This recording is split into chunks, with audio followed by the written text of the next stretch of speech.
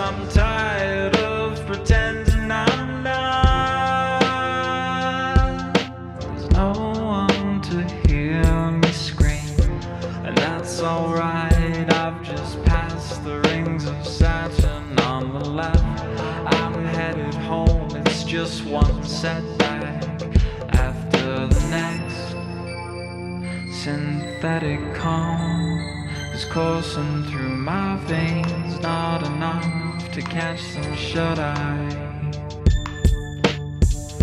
I wonder what my alarm sounds like, or if it'll even wake me.